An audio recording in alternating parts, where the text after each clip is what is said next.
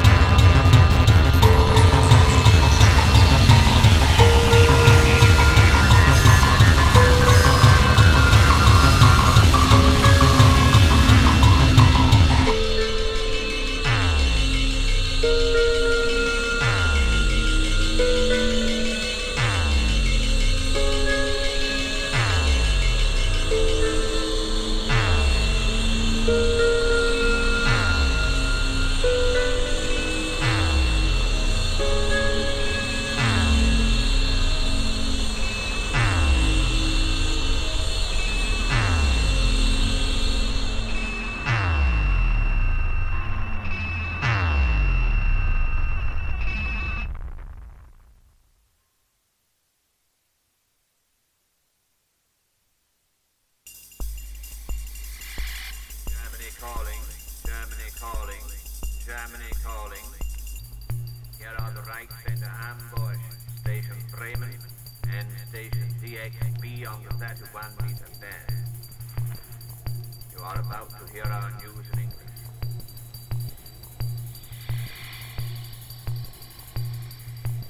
The British Ministry of Misinformation has been conducting a systematic campaign of frightening British women and girls about the danger of being injured by splinters German bombs. The women reacting to these suggestions with alarm by requesting their milliners to shape the spring and summer hat out of very thin tin plate, which is covered with silk, velvet, or other draping material.